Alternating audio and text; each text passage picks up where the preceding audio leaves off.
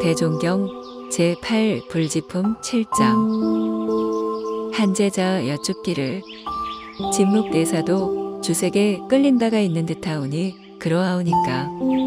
대종사 말씀하시기를 내 들으니 진묵대사가 술을 좋아하시되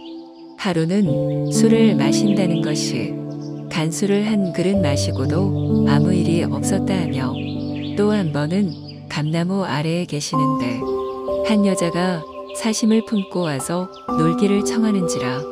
그 원을 들어주려 하시다가 홍시가 떨어짐에 무심히 그것을 주우러 가심으로 여자가 무색하여 스스로 물러갔다는 말이 있나니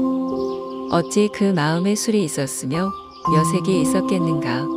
그런 어른은 술 경계에 술이 없었고 색 경계에 색이 없으신 열애신이라